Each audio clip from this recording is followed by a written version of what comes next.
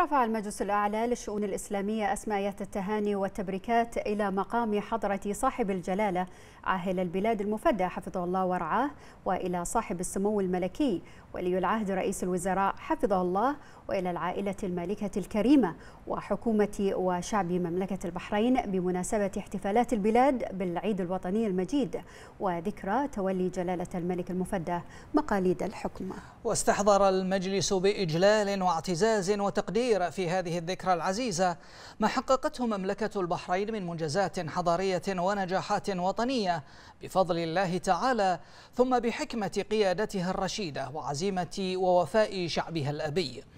وأعرب المجلس في جلسته الاعتيادية التي انعقدت صباح اليوم برئاسة معالي الشيخ عبد الرحمن بن محمد بن راشد آل خليفة رئيس المجلس عن تمنياته لمملكة البحرين بدوام التقدم والرفعة والاستقرار ولشعبها الوفي بدوام المحبة والوحدة والوئام.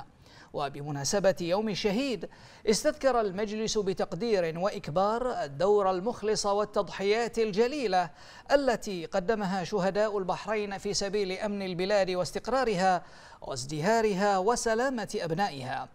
كما هنأ بيوم الشرطة البحرينية مشيدا بالجهود الوطنية المخلصة التي يبذلها منتسبو وزارة الداخلية إلى جانب إخوانهم في القطاعات الأمنية والعسكرية الأخرى في سبيل حفظ الأمن والاستقرار لهذا الوطن العزيز.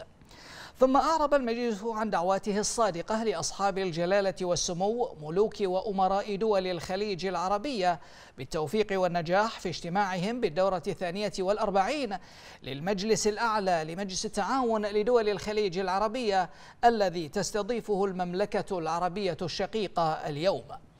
بعد ذلك رحب المجلس بانعقاد الاجتماع الدوري القادم لمجلس حكماء المسلمين على أرض مملكة البحرين وإقراره عقد النسخة القادمة من مبادرة حوار الشرق والغرب في المنامة. كما استمع المجلس إلى عرض موجز من معالي الرئيس عن نتائج لقائه الأخير مع فضيلة شيخ الأزهر الشريف وما تضمنه اللقاء من موضوعات تتعلق بالقضايا الإسلامية المختلفة.